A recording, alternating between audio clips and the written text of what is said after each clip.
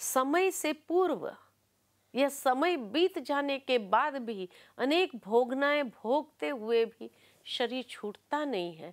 तो अकाल की मृत्यु है। जबकि सत्युग और त्रेता युग के अंदर अमर इसलिए कहा कि वहाँ अकाले मृत्यु नहीं है। पूरी आयुष्य भोग कर फिर स्व इच्छा से देह को त्याग करते हैं। और वो देह को त्याग करते वो भी कैसे करते हैं? तो जैसे ही आत्माओं ने पूरा काल भोग लिया फिर उनको इच्छा उत्पन्न होती है। अभी बहुत समय हो गया इस चोले के अंदर। अब ये चोला छोड़ करके नया चोला धारण करना चाहिए। तो पूरे परिवार को बुला करके, इकट्ठा करके, उनके साथ बैठ करके उन्हें ये कहते हैं, यहाँ से जाने की इच्छा है, नए चोले को धारण करने की इच्छा है। जैसे नए वस्त्र पहनने की यहाँ पर खुशी होती है, वैसे वो आत्माएँ भी खुशी से सबसे विदाई लेते हैं। और विदाई लेने के बाद नए चोले में जाने की जो खुशी है तो जैसे आज की दुनिया में बर्थडेज मनाते हैं, वैसे सतयुग और त्रेता युग में मृत्यु भी एक महोत्सव हो जाता है। और इसी तरह खुशी खुशी से उसको विदाई देते हुए वो नए चोले को धारण करता है। इसलिए उसको अमर लोक कहा गया कि जहाँ मृत्यु भी एक महोत्सव है। स्व इच्छा से देह को त्याग करके नए शरीर को धारण करते हैं। लेकिन द्वापर और कलयुग को मृत्यु लोक कहा जाता है। मृत्यु लोक इसीलिए अकाले कभी भी मृत्यु आ जाती है, बुलावा आ जाता है, व्यक्ति की इच्छा हो या न हो उसको जाना पड़ता है। इसलिए उसको मृत्यु लोक कहा जाता है। तो जब पुण्य क्षीण होता है तो सत्युग और त्रेता युग से पुनः मृत्यु लोक में प्रवेश पाते हैं। क्योंकि बीच में से तो कोई घर में जा नहीं सकता है तो मृत्यु लोक में प्रवेश पाते हैं और इस प्रकार जन्म मृत्यु के चक्र के अंदर आते जाते रहते हैं। कितना गुह्य से गुह्य गोपनीय ज्ञान भगवान अर्जुन को ये संसार चक्र के विषय में समझा रहे हैं। और फिर भगवान कहते हैं कि जो अनन्य भाव से मेरे दिव्य स्वरूप का ध्यान करते हुए निरंतर मुझे याद करते हैं, उनकी आवश्यकताओं को मैं पूरा करता हूँ। ये गारंटी भगवान के सिवाय तो और कोई नहीं ले सकता है। और जितना प्यार से भगवान को याद करो तो जैसे दुनिया में भी कहा जाता, याद से याद मिलती है। हम किसी को प्यार से अगर याद करते हैं तो वो भी हमें याद करता है। थोड़ी देर में फ़ोन आ जाता है। पूछेंगे, भाई, कैसे याद किया? बस आपकी याद आ गई।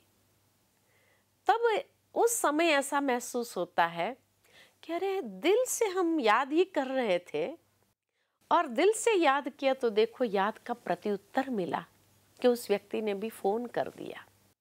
तो इस तरह से भगवान को भी जब हम दिल से याद करते हैं, अनन्य भाव से याद करते हैं, इतना प्यार से याद करते हैं तो वो भी हमें याद करता है। और इतना ही नहीं, लेकिन वो गारंटी लेता है कि आपकी जो आवश्यकताएँ उन आवश्यकताओं को भी मैं पूरा कर देता हूँ।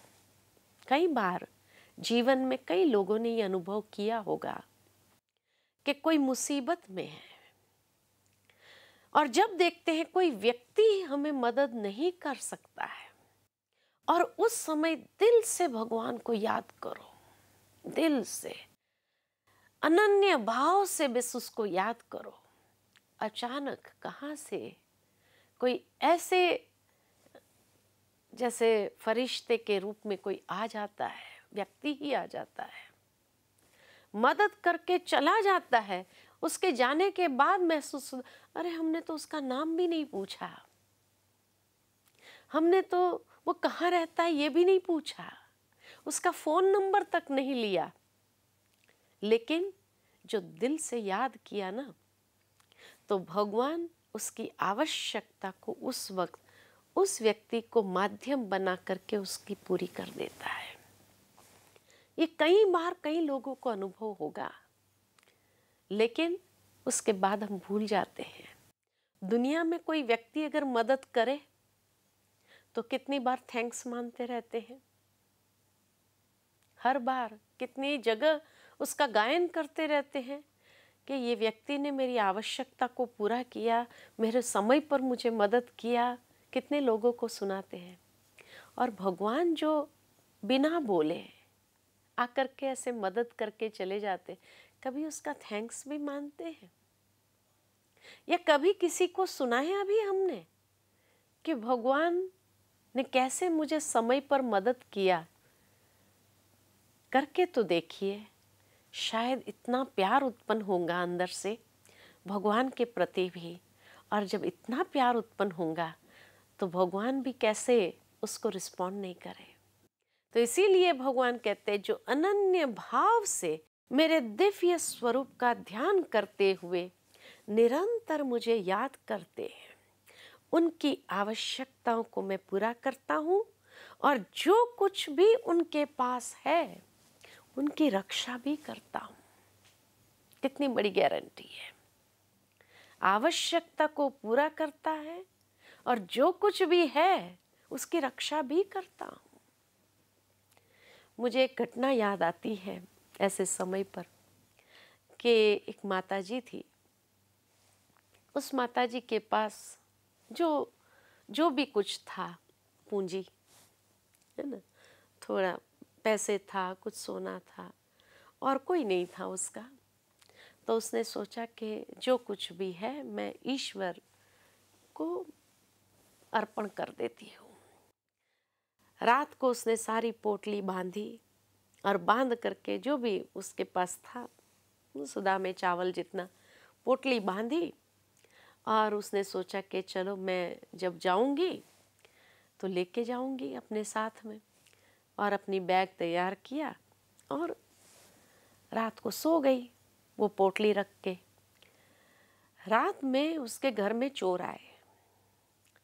चोर ने सारा घर जैसे ऐसे तहस नहस कर दिया हो अंदर से। हर अनाज के डब्बे खाली कर दिए, सब कुछ खाली कर दिए कि ज़रूर ये बुढ़िया के पास कुछ तो होगा, धन माल होगा, सोचते हुए। सारा उलट पुलट कर दिया। माता जी सोई हुई थी, उस कमरे में नहीं गए तो उसको पता भी नहीं चला। कान से थोड़ा ऊँचा सुनती थी तो ये भी नहीं पता चला कि घर में कोई चोर घुसा हुआ है। सोई थी वो। जिस बैग के अंदर उसने अपनी पूंजी रखी हुई थी, उस बैग को भी उठा खोल करके सारा सामान निकाल करके देखने लगे। लेकिन बुढ़िया ने उस पोटली को अपनी साड़ी के अंदर ऐसे छुपा कर रखी थी। वो साड़ी भी निकाली लेकिन वो साड़ी के अंदर से वो बाहर गिरा नहीं। और सारा मैदान करके फिर चले गए चोर। जो कुछ भी हाथ लगा उनके कुछ इलेक्ट्रॉनिक चीज़ें थी, टीवी था, ये था, वो उठा करके लेके गए। दूसरे दिन सुबह में माता जी जब उठती है, सारा घर देखती है, अरे, ये कौन चोर आए एकदम उसको याद आया, मेरी पोटली देखने गई तो पोटली सुरक्षित थी। इतनी खुशी हुई उसको कि अरे देखो भगवान ने कैसे मैंने सच्चे भाव से ये सोचा था कि मैं इसको ईश्वर अर्पण करूँ। तो मेरी ये पूंजी जो थी, उसको चोर के हाथ लगने नहीं दिया। तो आवश्यकता को भी पूरा करता है और उन भक्तों के पास जो कुछ भी है, उसकी रक्षा भी वो करता है। तो यही बात यहाँ गीता के अंदर भगवान ने कही। सोचने की बात है, युद्ध का मैदान है। और ईश्वर कैसे जो अनन्य भाव से भक्ति करने वाले हैं, उसकी रक्षा और सुरक्षा करते हैं, ये बात सुना रहे हैं। कहने का भावार्थ, ये कोई हिंसक मैदान तो है ही नहीं। लेकिन जीवन के संघर्ष वाले क्षेत्र के अंदर, जब व्यक्ति अनेक प्रकार के संघर्षों से गुजरता है तो भगवान उसको बताते हैं कि किस तरह तू भगवान को अपना सारथी बना ले। और जब भगवान को अपना सारथी बना लेगा तो फिर कैसे वो सहजता से, सरलता से जीवन को पूरा कर सकता है। उसके बाद भगवान ने यहाँ एक और बहुत सुंदर गुह्य बात सुनाई है और कहते हैं कि जो मेरे वास्तविक स्वरूप को ज्ञान के आधार से नहीं जानते हैं क्योंकि भगवान को ये चरम चक्षु से तो देखा नहीं जा सकता है। अव्यक्त जो है। इसलिए पुनः अर्जुन को ये बात स्पष्ट करते हैं कि जो ज्ञान के चक्षु के आधार से मुझे नहीं जानते हैं और अज्ञानता पूर्वक मुझे देवताओं के रूप में याद करते हैं। सोचते हैं ये देवी देवताएँ जो है, वही परमेश्वर है।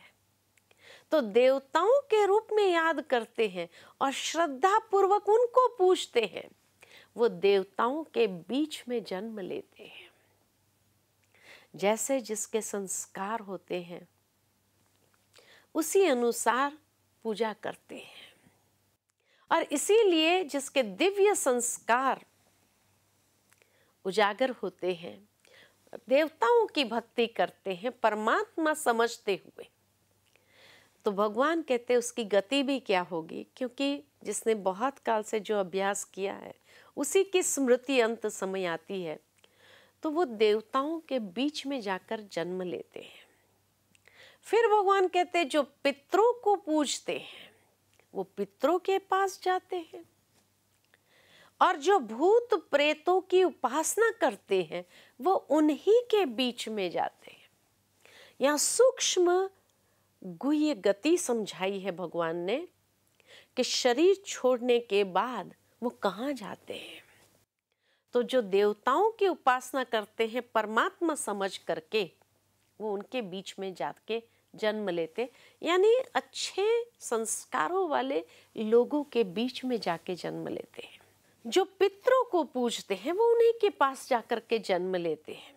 लेकिन आज की दुनिया के अंदर आज से पाँच हज़ार साल पहले महर्षि वेद व्यास जी ने जो ये बात देखी थी कि कलयुग के अंत में लोग इंस्टेंट फ्रूट चाहते हैं और इसलिए तंत्र मंत्र का सहारा लेते हैं। तो ऐसे जो तांत्रिक विद्याओं वाले होते हैं, जो भूत प्रेत की उपासना करते हैं तो उसकी गति क्या होगी? ज़रूर है कि वो उसी के बीच में जाकर के जन्म लेते हैं, यानी उनकी भी सदगति नहीं होती है। दुर्गति ही कहेंगे, वो भी किसी के परवश ही हो जाएँगे। और गलत कार्य के लिए उनका इस्तेमाल होगा।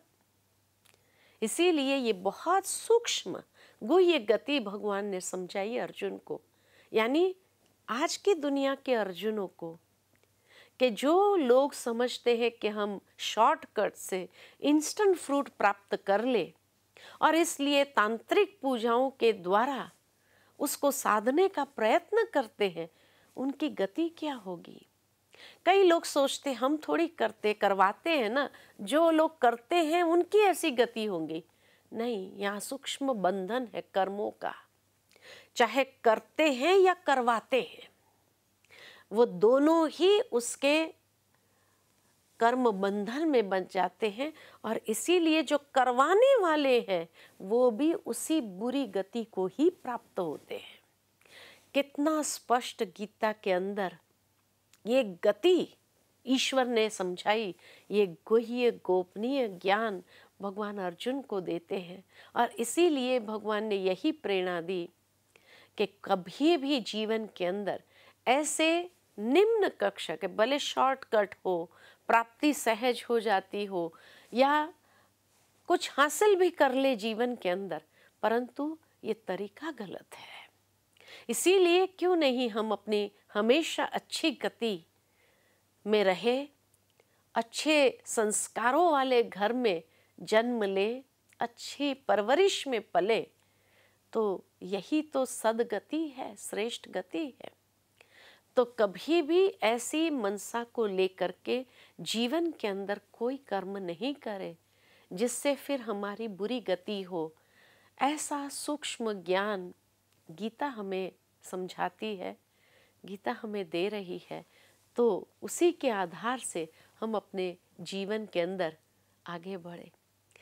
भगवान ने बहुत सुंदर कहा यहाँ पर कि अर्जुन कोई फल, फूल या जो भी श्रद्धा से देता है, ईश्वर को अर्पण करता है, श्रद्धा के साथ, उसे मैं स्वीकार करता हूँ।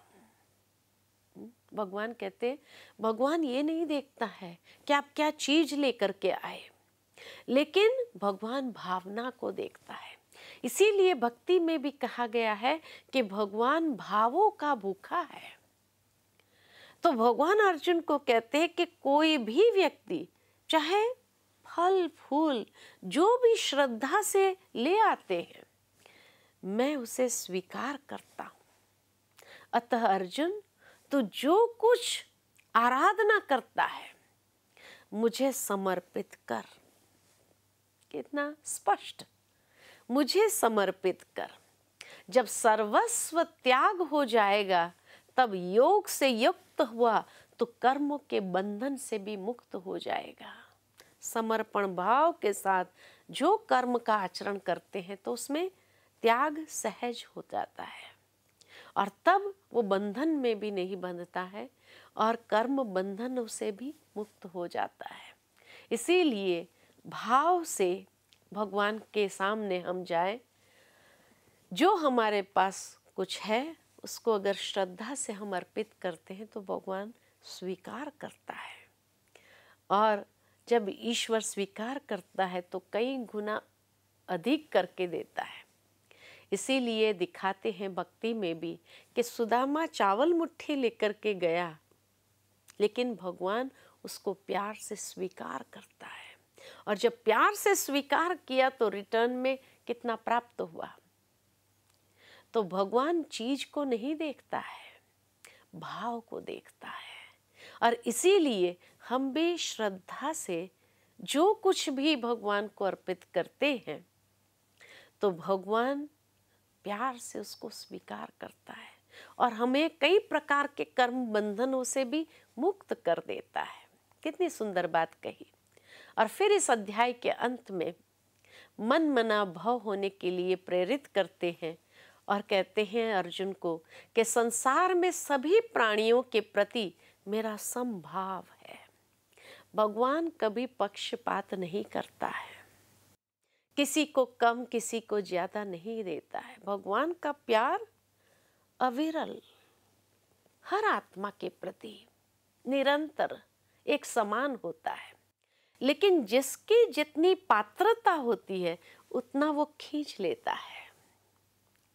इस रूप से कोई अधिक प्यार पाता है, कोई कम पाता है।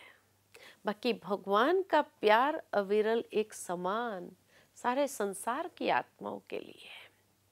जिस तरह सूर्य की रोशनी सारे संसार के लिए है।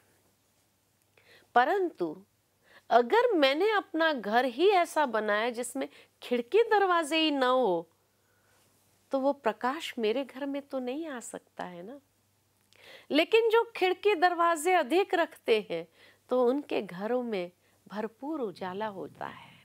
ठीक इसी तरह, जीवन के अंदर भी जितना हमारे अंदर के दरवाजे खुले हैं, मन के दरवाजे खुले हैं, बुद्धि के दरवाजे खुले हैं, हृदय के दरवाजे खुले हैं, उतना हम भी उस परमात्मा के स्नेह को, प्यार को, शक्ति को अधिक प्राप्त कर सकते हैं। लेकिन अगर मेरा मन संकुचित है बुद्धि बंद है हाँ, एकदम क्लोज्ड है हृदय के अंदर कोई ऐसा स्थान ही नहीं है या हृदय के अंदर भावनाएँ भी बहुत संकुचित है तो ईश्वर के ईश्वर के प्यार को प्राप्त करने की पात्रता नहीं है। तो इसीलिए भगवान कहते हैं कि संसार में सभी प्राणियों के प्रति मेरा संभाव है। न किसी से द्वेष, न पक्षपात, किंतु जो मेरी अनन्य भाव से सेवा करता है, वह मेरा मित्र है और मैं उसका मित्र हूँ। ऑफ़र स्वीकार है? भगवान मित्रता ऑफ़र कर रहे हैं। क्या स्वीकार है? भगवान की दोस्ती को जो स्वीकार कर लेता है, फिर उसका तो कहना ही क्या? तो इसीलिए आज भगवान गीता के महावाक्य के द्वारा ये ऑफ़र करते हैं कि जो अनन्य भाव से, माना जो मुझे प्यार करता है और मेरी सेवा करता है, वो मेरा मित्र है और मैं उसका मित्र हूँ। तो भगवान भी हमसे मित्रता जोड़ना चाहता है। अब हमारे ऊपर है कि हम उसकी मित्रता को कितना स्वीकार करें। फिर भगवान कहते हैं, भगवान की मित्रता कैसी है? ये देखो।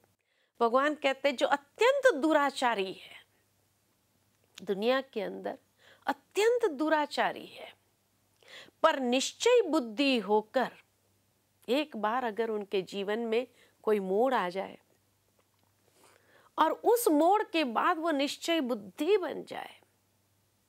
निश्चय बुद्धि बनकर अनन्य भाव से मेरी शरण को ग्रहण कर लेता है और सेवा करता है। वो साधु मान्य योग्य है। इतना विशाल दिल तो भगवान का ही हो सकता है और किसी का नहीं हो सकता है। इसीलिए भगवान कहता है कि वो मेरी शरण में अगर एक बार आ गया तो साधु मानने योग्य है, अत्यंत दुराचारी भी और वह परम शांति को प्राप्त होता है। वह कभी भी नष्ट नहीं होता। फिर धर्मात्मा, ब्राह्मणों, योगियों राज ऋषियों का तो कहना ही क्या? इसीलिए हे अर्जुन, मन मना भव मध्याजी भव मन मना भव यानी मन को मेरे में लगाओ। प्रेम से मेरे में लगाओ। तो मध्याजी भव प्राप्ति क्या है? कि ब्रह्मा, विष्णु, महेश में मध्य में कौन है? विष्णु। तो विष्णुपुरी की राजाई में जाने के योग्य वो बन जाते हैं। तो जो प्यार से मन को मेरे में लगाते हैं, रिटर्न में भगवान उसको क्या देता है? सुदामा को चावल मुट्ठी का मैल मिला तो यहाँ भगवान कहते, जो मन मना भव है, मध्याजी भव। वरदान भी मिल गया, प्राप्ति भी। कि ब्रह्मा, विष्णु, महेश, ये तीनों में मध्य में है विष्णु। विष्णुपुरी में जाने के योग्य बन जाता है विष्णुपुरी में जाने का पासपोर्ट प्राप्त हो जाता है। ऑफ़र मंजूर है ईश्वर की। तो ये है राज विद्या गुह्य योग। नवाध्याय समाप्त होता है। ओम शांति।